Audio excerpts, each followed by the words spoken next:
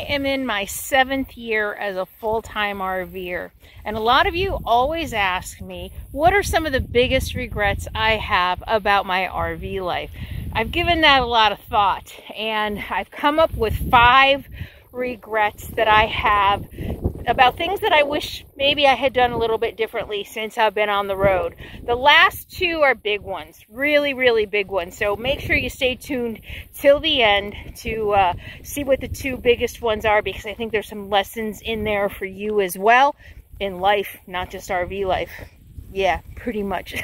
so stay tuned for that. And please do me a favor, watch as much of this video as you can because that really helps my channel. And make sure you check the subscription button. Make sure you're still subscribed because every time I say this, you guys say, yes, in fact, I was unsubscribed and I don't know how. So uh, without much further ado, I think I'm going to have to go inside because it's kind of windy. But let's talk about the five things I regret in uh, more than six years on the road.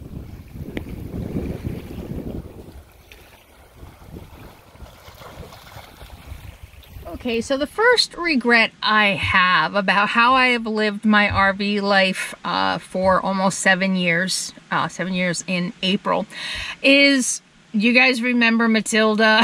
you probably knew that Matilda was going to be on this list. I regret my first RV. I didn't have a lot of money. I was living in the San Francisco Bay Area. I know, uh, boy, back then RVs were a lot cheaper than they are today. I know that, but I only spent $8,000 cash for my first RV. At one point, I added up how much money I put into it the first year, and it was about $20,000.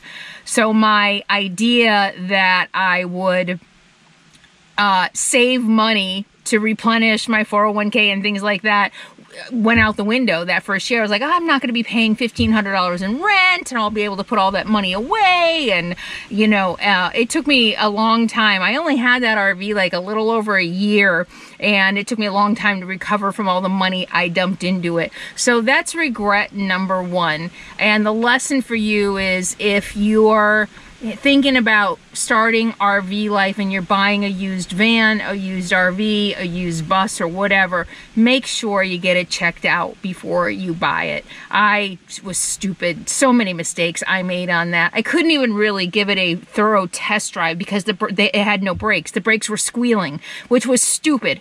Um, I should have said go fix the brakes. I made a lot of mistakes on that, and I think um, I've done videos about all the mistakes I've made and how to buy an RV. So I will put those videos in the video description and also in a pinned comment so that you can check out those videos. But that is regret number one, buying a big fat lemon. and regret number two, is silly. It's silly, silly, silly. But my second regret uh, about my RV life is putting valve stem extenders on my duals. Yeah, I know. Do you guys remember all the issues I had with valve stem extenders last year? Um, sitting in the middle of nowhere in Michigan, uh, brand new tires, and uh, all of a sudden my tires were going flat. Just, they were a disaster. Here's what I've realized since then, though. So another a little tip for you. Valve stem extenders aren't bad if you're not driving off-road.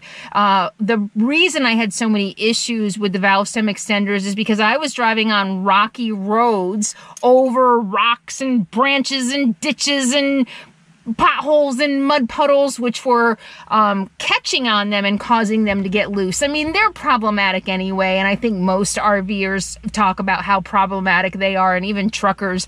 But if you're staying on road, they're not going to be as problematic as they were for me driving off road. You know, they're just these metal things that screw onto your valve stems to extend them so that you can check the uh, the pressure in your tires. You know, in theory, they're very useful.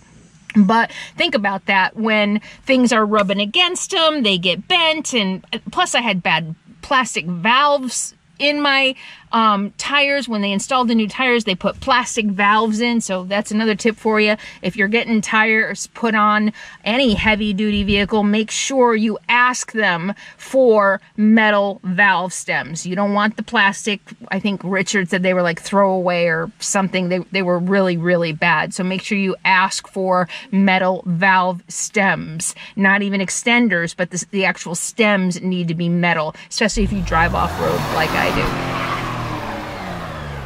And my third regret about my RV life as I'm living it now, and you guys have heard me talk about this before, is starting another business. I, you know, I love what I do. I love connecting with all of you. It's a dream come true to be able to share myself the way I do and to connect with an audience like you.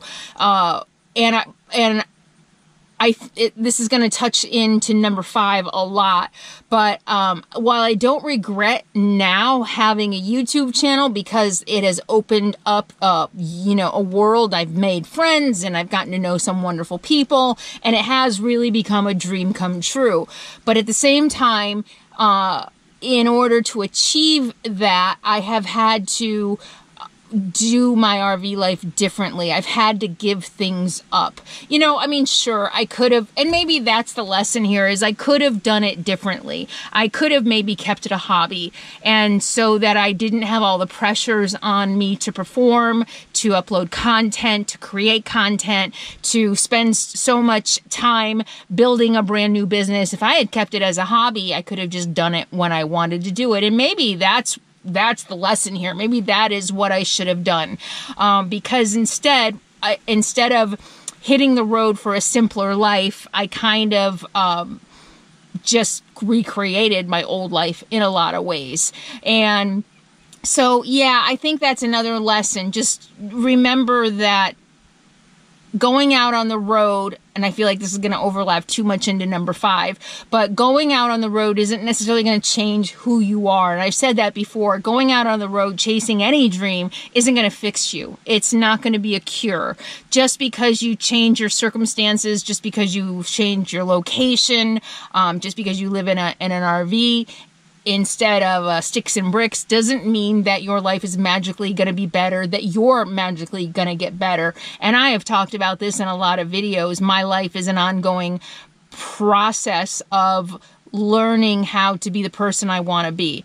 It's a lifelong journey of finding out who I am and really looking every year, you know, looking and saying, or every day or every month, looking at myself and saying, okay, how can I do better next time? And a lot of that has to do with self care and uh, finding a work life balance. And just because I moved into an RV and I was living in the wilderness doesn't mean I was, you know, um, any better at the work life balance. I just took on another huge project, uh, which in a way took me away from the life that I came out here for. So that leads me into number four. Let's get to number four.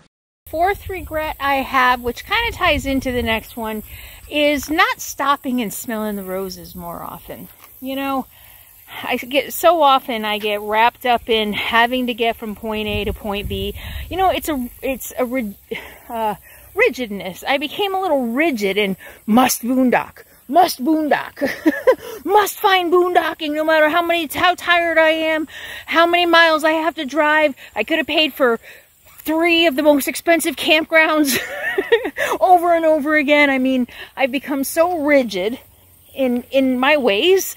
You know, we all kind of get set in our ways and kind of forget to stop and think, wait, does this really make sense? Or am I just kind of charging forward based on a belief that could change? So there's two parts to number four. Number one is not stopping to smell the ro roses, which really is caused by a rigidness in my beliefs. And that I must do this, I must do that, I must get a video up tonight, I must answer comments tonight, I must get a newsletter out tonight. It's, instead of saying, you know what, no, it doesn't matter. Stop. If there's a pretty lake, stop and enjoy the pretty lake. Let Sadie go for a swim, get out, go for a walk. You know, I mean, last year when I traveled to the east, uh, I was so go, go, go that I wasn't taking care of myself. I wasn't getting exercise. I wasn't eating well. And so I'm trying to do things a little differently this year. Well, since then, every year I try to do better than I did the year before. The wind's coming up again. So that was number four, my biggest regret number four. Being too rigid in my beliefs, not, believe it or not, not being flexible enough, and not stopping to smell the roses more often. So that's number four.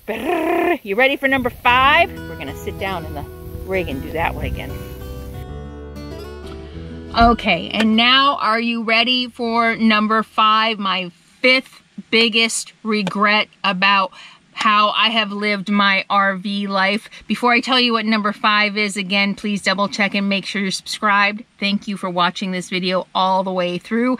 And I will put um, some of the videos you might like in the video description and a pinned comment. My fifth regret, and again, this overlaps a lot with number three and four, but my fifth regret is that I didn't keep my dream, my goal, my mission of what I wanted my RV life to be. I didn't keep that front and center. I, I got, I let myself get distracted. I let myself get really pulled back in a lot of ways into a life I wanted to leave.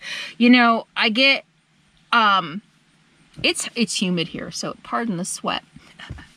Um, I, I get criticized every once in a while. Oh, you're just, you know, living the same life. You still are materialistic, whatever. You know, I get criticized for everything. But, you know, there's a lot of people who say, you're still living the same life. Who are you kidding? You're still participating in the um, capitalist society. Well, for one thing, yes, that's true. For but because this is the world in which we live and if I don't want to there's there's literally no way to not participate in the capitalist society even Amish you know you go through Amish country and they're going to the gas station and buying gas you know so it it's literally impossible I think in United States to not participate in the capitalist society. It's just impossible.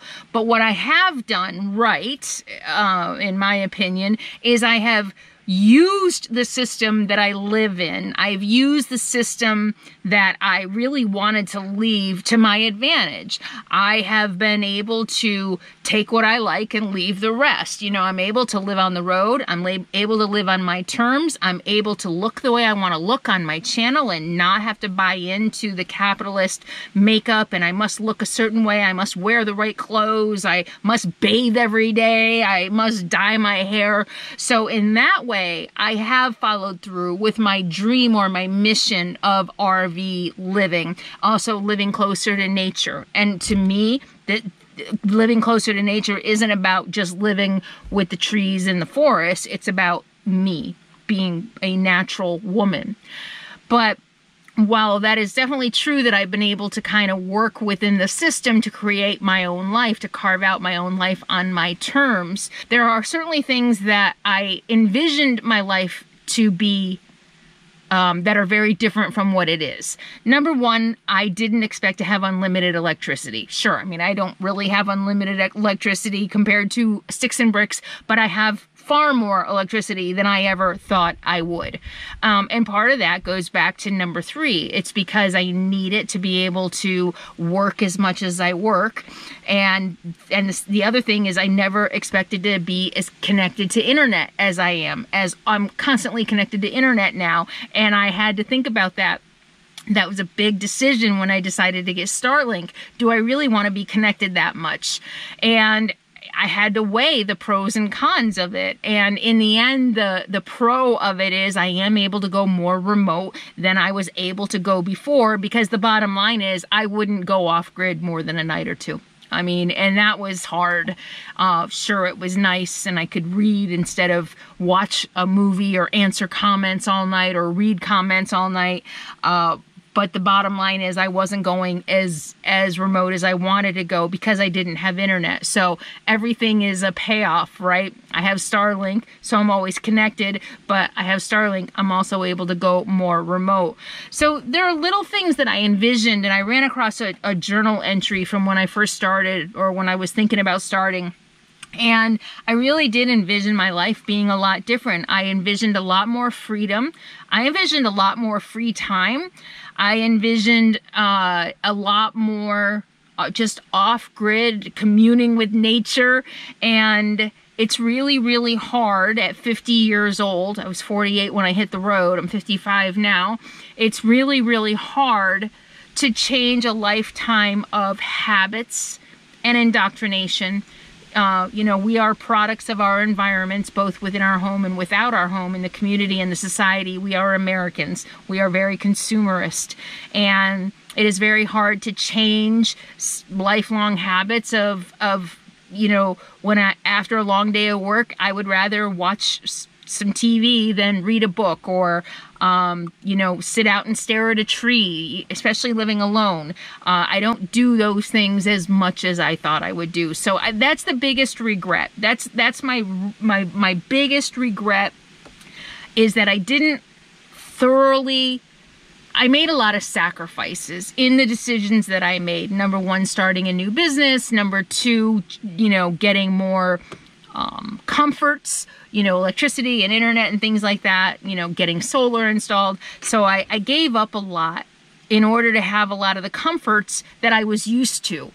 Does this make any sense at all? I feel like it's kind of uh, esoteric. I feel like it's kind of hard to explain exactly what I mean by this, but uh, I don't know. And even now, when I think about the next phase of my life and living in a cabin, I imagine living completely off grid, no internet, you know, no running water. And I, I know eventually I will get internet and I will get running water because this is the world in which we live. And it is extremely difficult to live without those things in a world when the world around us has all those things. You know what I mean? So, uh, you know, and I'm not blaming anyone but myself. These are the decisions that I made.